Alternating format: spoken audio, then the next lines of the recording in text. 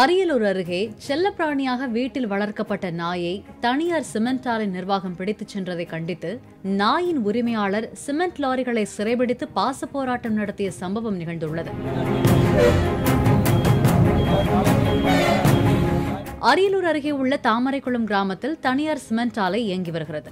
ஆலை பணியாளர்கள் குடியிருப்பு அமைந்துள்ள இடத்திற்கு எதிரே ராஜகோபால் என்பவர் தன் பூர்வீக வீட்டில் வசித்து வருகிறார். இவர் ஸ்பைக்கி என்ற நாட்டு நாயை ஐந்து ஆண்டுகளாக வளர்த்து வருகிறார். ஸ்பைக்கிக்கு என்று பிரத்யேக கண் கண்ணாடி எல்லாம் வாங்கி கொடுத்து ராஜகோபால் அதை குழந்தை போல வளர்த்துள்ளார். இந்நிலையில் வீட்டின் அருகே விளையாடிக் கொண்டிருந்த ஸ்பைக்கியை திடீரென்று காணவில்லை. ராஜகோபால் பல்வேறு இடங்களில் தேடி பார்த்தும் நாய் கிடைக்கவில்லை. அப்போது சிமெண்ட் ஆலை நிர்வாகம் அந்த பகுதியில் சுற்றித் திரிந்த ஏராளமான தெருநாய்களை பிடித்துச் சென்றது ராஜகோபாலுக்கு தெரிய வந்தது. இதனையடுத்து சிமெண்ட் ஆலைக்கு சென்ற ராஜகோபால் அங்கு பணியில் இருந்த பாதுகாவலர்களிடத்தில் ஸ்பைக்கியை உங்களது ஆலை நிர்வாகம் பிடித்துக் கொண்டு சென்றுள்ளது அதனை எங்கு விட்டீர்கள் என கேட்டுள்ளார். தெருநாய் என கருதி மற்ற நாய்களோடு உங்கள் நாயும் பிடிக்கப்பட்டிருக்கலாம். ஆனால் அது எங்கே இருக்கிறது என்று தெரியாது என்று பாதுகாவலர் தெரிவித்துள்ளார்.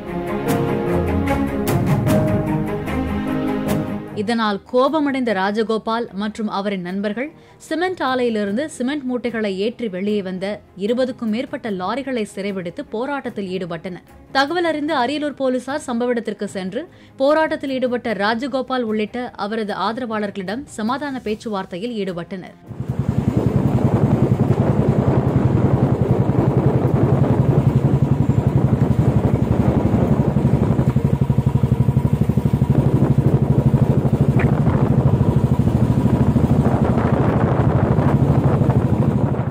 பேச்சுவார்த்தையின் முடிவில் ஸ்பைக்கியை கண்டறிந்து மீட்டுத் தருவதாக ஆலை நிர்வாகம் உத்தரவாதம் அளித்தது.